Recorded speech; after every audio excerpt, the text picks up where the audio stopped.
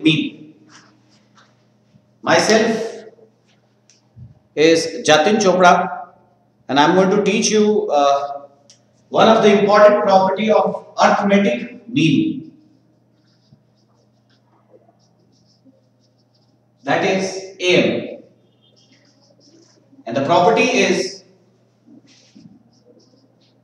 AM is affected by change of origin and change of scale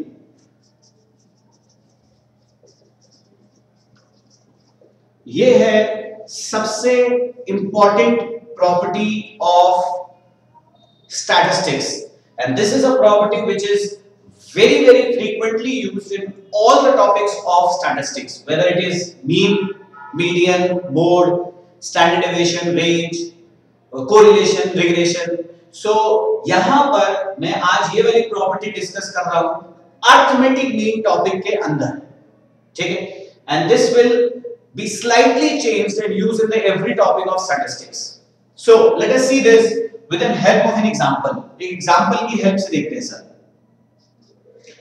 से I am taking five values मैं कोई भी एक पाँच वैल्यूज़ ले रहा हूँ। से 1 2 3 4 and 5 And with the help of these five values, let us calculate the arithmetic mean.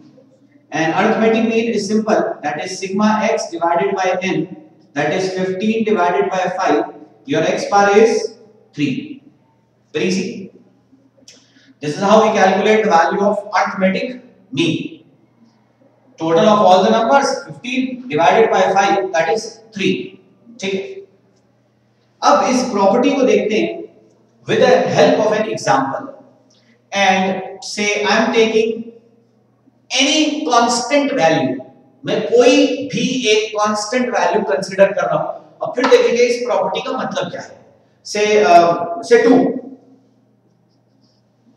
so I am considering a value two and two is added with every value of x देखते हैं, अगर x की हर वैल्यू में हम to add करें तो हमारा नया मीन क्या निकलता है? One plus two is three, two plus two is four, three plus two is five, four plus two is six and five plus two is seven again let us calculate mean the formula is same sigma x divided by n obviously number of item remains the same total is twenty five 25 divided by 5 is 5 simple अभी तक मैंने कुछ भी explain नहीं किया।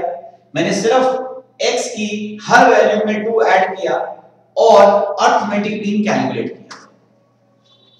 चलो। एक काम करते हैं सर। x की हर वैल्यू में कुछ सब्ट्रैक्ट भी करके देखते हैं। देखते होता क्या है ऐसे हिट एंड ट्रायल करके देखते हैं। 1 minus 2 is minus 1 this is 0 3 minus 2 is 1, 4 minus 2 is 2 and 5 minus 2 is 3. इसको टोटल करके देखते हैं और फिर अगेन मीन में कैलकुलेट करके देखते हैं the number of items will be again 5 क्योंकि I am not changing the number of items the number of observations in the data 3 plus 2 is 5 5 plus 1 is 6 6 minus 1 is 5 so this is 5 by 5 your mean is 1 तो जैसे मैंने 2 add किया और 2 subtract किया हर वैल्यू में, एक काम करते हैं सर 2 को मल्टीप्लाई करके भी देखते हैं। देखते हैं होता क्या है आज।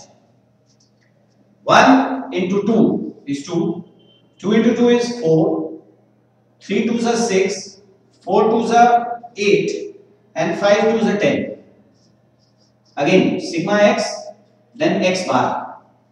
Number of items will again be 5 this is 30 by 5 that is 6 similarly एक काम करते हैं जैसे मल्टीप्लाई किया डिवाइड करते हैं 2 से 1 divided by 2 is 0.5 this is 1 this is 1.5 this is 2 and this is 2.5 और इसका टोटल करते हैं this is 4 plus 2 6 plus 7 7.5 x bar is again 7.5 divided by 5 1.5